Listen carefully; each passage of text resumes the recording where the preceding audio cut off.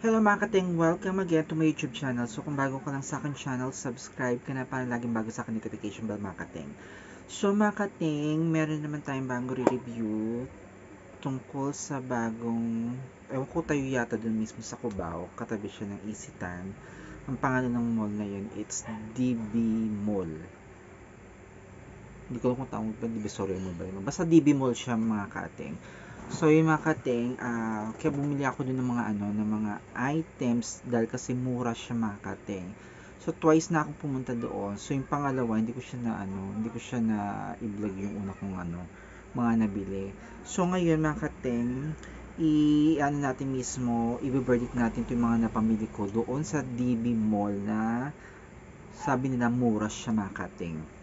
So, first natin mga kating, ito mismo lalagyanan ng ano, ng actually lalagyan nito ng kutsilyo. Ayan siya makating. Sa halagang 79 pesos lang siya makating. Kita ba? Basta yan siya makating. 79 pesos. So, yung makating. So, ito, dapat ang pipiling ko sana yung isa. Kaya lang sabi ng ano, partner ko, ito na lang bili. Ay, mulit ko yung camera ko. So, ito na yung bilihin ko. So, ang ginawa ko, it's binili ko siya makating. Sa halagang 79 pesos lang siya makating. Then, the next one makating, yung binili ko, ito mismong pang ano ng, ano ng rice or kaya ng ulam. So, itong una, nawala siya. Alam ko ano to, it's nasa 25 pesos to. Itong ano, nawala yung niya. Yung mismo, ang tawag to? Yung tag So, ito naman yung pangalawa, it's 6 pesos lang siya. Yan. Kita ba? Yan, 6 pesos lang siya makating. So, yung makating, 6 pesos siya, 25 pesos siya. Sobrang mura niya makating. So, ito yung plastic. Plastic naman to pero parang nababasag siya makating. So, maganda siya. Then, yung pangalawa naman makating, ito ang nabili ko na ano, flammable na ano, na lighter. Flammable lighter na talaga siya makating kung tutusin mo. So, halagang 35 pesos siya makating. Ayan. So, ayan siya makating. Kasi nabili ko to doon mismo sa isang ano, uh, supermarket na sa ano yata siya. Ah, uh, 60 pesos. Ito, 35 pesos lang siya makating. So, murang-mura na siya makating kung tutusin mo. Then, the next one, makating. Kasi dahil na sila mismo yung pang ano ko, hindi ko alam yung tawag dito eh uh, pangsukat ng kung ano. so, ayun mga kating. Hindi ko lang tawag dito. Uh, ayun, power tape. Basta yun yun siya. Hindi ko lang tawag dito. Pangsukat ng mga kahoy-kahoy yan. So, nasira kasi ganito ka mga kating. Kaya binili, bumili ako ng ano. So, sa halagang 45 pesos lang siya makating. Kung tutusin mo yan. Ayan, 45 pesos lang siya makating. So, murang-mura siya. In fairness, kung tutusin mo, napakaganda niya. Ayan siya makating. Hmm. Hindi ko lang kung anong tawag das. Ah, okay. Pindutan pa rin pala ito makating. So, halagang 45 pesos ha. Hindi ka natalo dito makating. Di ba? Sa, sa, ito yata nabibili sa ibang ano yata. It's nasa sandaan. O lagpas pa. Then, makating. Bumili ako ng dalawang cortina. Ayan siya. Manipis siya makating pero ano naman siya. Naganda ng kasasakot ko dahil kasi Mickey Mouse siya. Kasi gusto ko talaga yung manipis lang. Ayan. So, sa halagang ano siya. 59 pesos siya makating. Ayan. So, pasensya kung malabing camera. Ayan. So, 59 pesos siya makating. Binili ko siya dalawa. Ayan. So, lalaban ko muna siya makating kasi pagka ginamit ko siya. Siyempre, maamoy ano to. Hindi ko alam tawag na pagka ano siya. Amoy, amoy bagong ano na basta yun na yung makating. so, yun nga makating. It's a uh, 59 pesos lang siya. Tama ba? Ayun, 59 pesos lang siya makating. Ayun.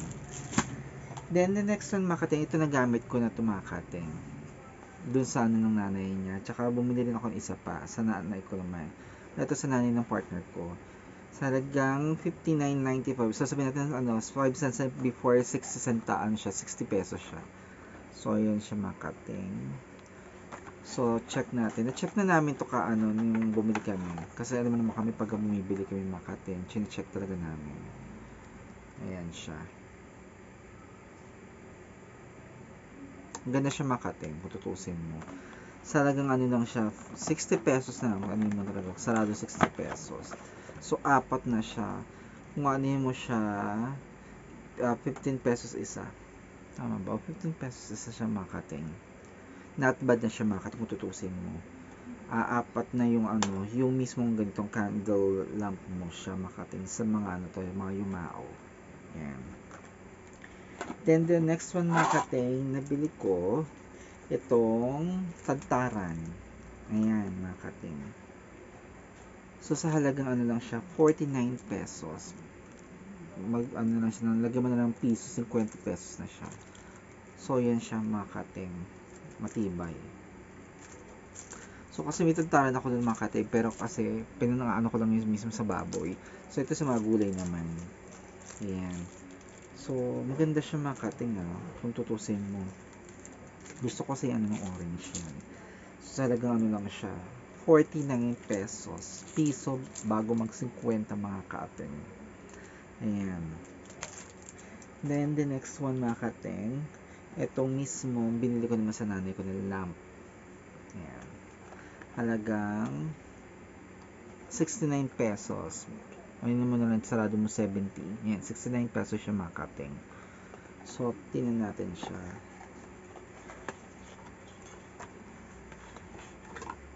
Ayan siya mga kapatid. Ayan. Ah, gumagalaw pala talaga siya. Hmm.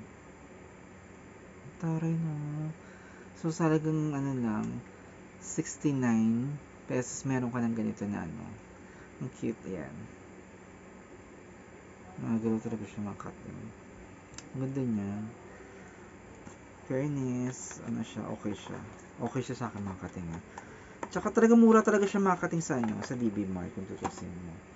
Last, the next one na lang, na last na review natin ay itong plato. Kasi dapat bibili sana ako mabasagin, kaya lang yung partner ko lagi na ano, yung kamay niya lagi nanginginig. Dahil kasi, ano siya, ayaw ko, lagi siya nakakabasag. So, yung binili ko na lang talaga puro mga plastic na talaga mga kating. Kahit mabasag siya, hindi siya ganun kaano, kasakit sa bulsa. So, ito mga kating is 35 pesos lang siya. Yan.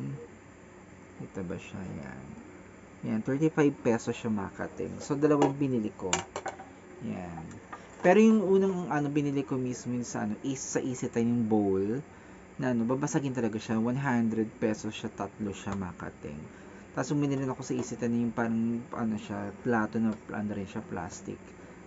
Eh, pero yung mga plato ko na nababasag yung ginilid ko na siya. Kasi hindi, alam mo naman yung partner ko lagi nakakabasag ng mga pinggan, baso, kung ano-ano pa. Nababasag niya talaga.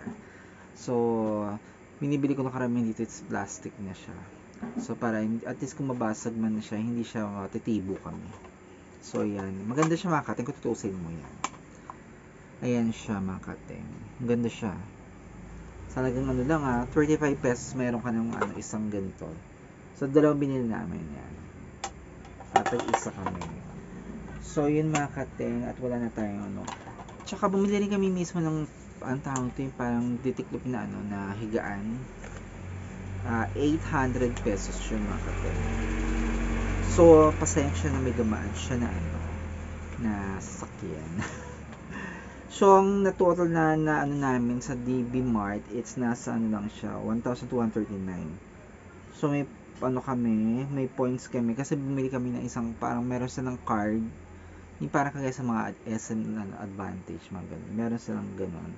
So, meron akong points na 9.25 centavos na siya. So, yan. So, sa halagang 1,239, ang dami ko na napamili mga katin. Kasama na yung ano, yung mismong ano, yung mismong parang ditiklop na ano, na higaan na kama. Ayun. So, kung tutusin mo, tatanggalin mo lang lahat yon Ang napamili ko lang dito, it's nasa nasa ano siya, 450 mga ganun siya mga kating. Marami ka na napamili. So, yun mga kating. Kung tutusin mo, maganda siya mga kating. Kasi, ano siya, bagong bukas siya dito mismo sa Cubao mga kating, yung DB Mart. Katabi lang siya mismo ng Isitan Cubao. So, tatawid ka lang sa Isitan Cubao, ayun na yung DB Mart. So, maganda talaga siya kasi kung gusto nyong bumili doon, makakamura kay Makateng. Hindi lang din na ano na yung mismong sabihin natin cheap price tapos biglang nasasira. Hindi naman siguro ganun siya kating. Kasi lahat naman na napapamili ko dun it's hindi naman na siya nasasira. Ayun siya makating. So, ingat-ingat din tayo makating dun sa mga nabibili natin na mismo ka-remind din. It's yung sabi natin na ano na hindi good quality siya. Pero dito sa DB Mart, good quality talaga siya makating. Tsaka cheaper, ano pa, cheaper prices pa siya. Cheap, tama ba? Cheaper prices. So, yun. Cheap ba yung cheaper prices siya mga kating. So, napakamura niya kung tutuusin mo. Uh, tapos yung sobrang kamurahan niya, hindi ka hindi pa hindi siya masasira agad. Depende na sa pag-aano mo 'yon, sa paggamit mo siya mga kating. Okay? So mga kating, kung nagustuhan nyo aking dalagan yung mga kating, subscribe kayo sa aking YouTube channel, Atengale, A-T-E-N-N-G-G-A-E-L. Then, follow nyo rin ako sa aking Facebook account. It's Pereira Piñalosa. Doon sa Pereira Piñalosa at may dumaan pang isang tricycle makate. Pasensya na. At follow nyo rin ako dun mismo sa aking page na ano po, um, cakes and crumbs na siya. Uh, hindi na siya, ano, uh, tawag to? Cakes and crumbs ba siya? Yun. Uh, sweet and crumbs pala siya, hindi na siya cakes and crumbs. So, sweet and crumbs na siya makating dun mismo sa pages ko ng mga ginagawa ng mga cakes. Kung gusto niyo magpagawa ng mga ano ngayon this December, malapit na. So, PM niyo lang ako nung gusto niyo magpagawa ng mga cakes, so cupcakes, at iba pa dun mga kating mga pastries. So, PM niyo lang ako sa mga pang-giveaway niyo. PM niyo lang ako dun mga kating, okay? So, see you next time mga kating. Bye!